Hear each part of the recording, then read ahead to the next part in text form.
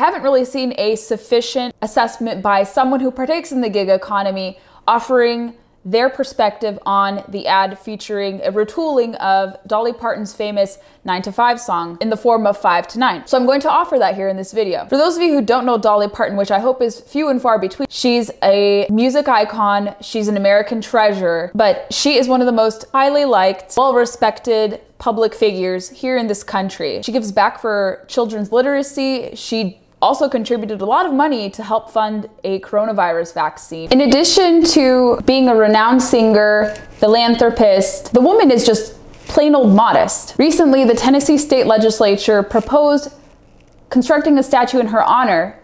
And in response to that, she was grateful for the recommendation, yet basically issuing a statement to cancel the efforts to not pursue it because it's more than just about herself, all her efforts. So, what could possibly be wrong with this woman, this American icon? Her grave mistake in the eyes of a few critics of the Super Bowl ad? She gave and lent credence to the gig economy. A sampling of the lyrics reads like this Working five to nine, you've got passion and a vision. Cause it's hustling time, a whole new way to make a living. Gonna change your life, do something that gives it meaning with a website that is worthy of your dreaming. And Squarespace, for those of you who don't know, is a web hosting service that a lot of upstart companies and freelancers use. Well, you got dreams and you know they matter. Be your own boss, climb your own ladder. That moment's getting closer by the day. And you're in the same boat with a lot of your friends, launching ideas you all believe in. The tide's gonna turn and it's all gonna roll your way. Those reworked lyrics apparently did not sit well with several writers. How dare Dolly Parton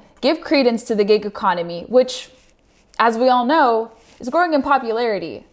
And of course, it's going to attract a lot of hatred by people who dislike this lifestyle, who dislike people having worker freedom, who dislike people choosing not to be unionized. One headline from Newsweek reads like this Dolly Parton is awesome, but this Super Bowl ad shows we live in a dystopia. If you think about this ad for only five seconds between beers and football, it will seem kitschy and cool, especially because Dolly Parton is generally awesome and this specific song is a classic.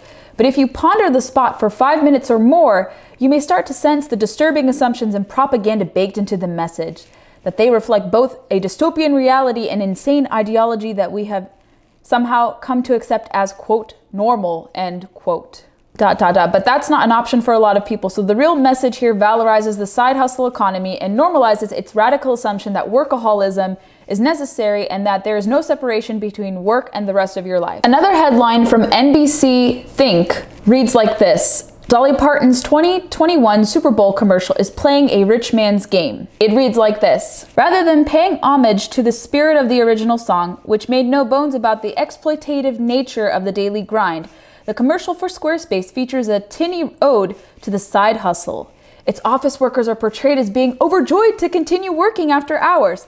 Their side hustles are painted as freeing, fun, and fulfilling, and the song itself encourages them to, quote, be your own boss, climb your own ladder, end quote. She proceeds like this. It's a perfect storm of gig economy propaganda. Oh gosh. And it's a particularly disappointing message to hear from someone like Parton who once warned us, quote, you're just a step on the boss man's ladder, end quote. The ironic thing about this criticism of the ad, as pointed out by Fox News' Brian Flood, is that this writer is actually a freelancer and so called activist herself. Obviously, those two criticisms shouldn't impugn Dolly Parton's character nor the gig economy. She should be given kudos for recognizing the power of people who want to be innovative, want to find and start a new gig and something that goes from a side hustle and blossoms into a full time career. The misunderstanding that both these writers have is that they fail to realize that side hustles are not permanent.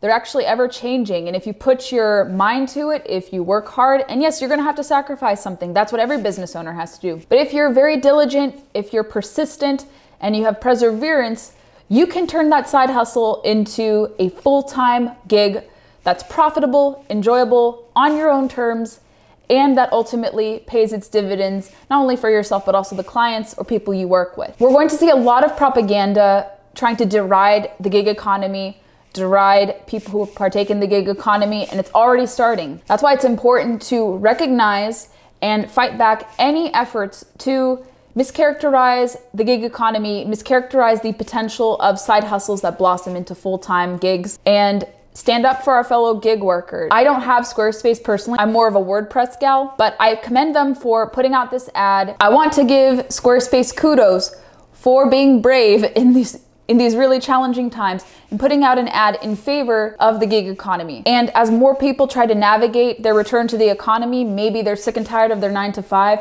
perhaps they want to change in their work-life balance and they want something that's more flexible, people are going to be contemplating the gig economy and that should be welcomed.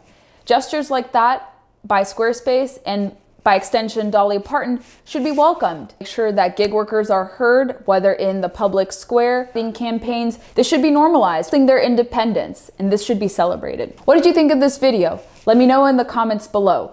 To hit the subscribe button and hit that notification tab as well. That's a great way to stay attuned to new videos here on my channel.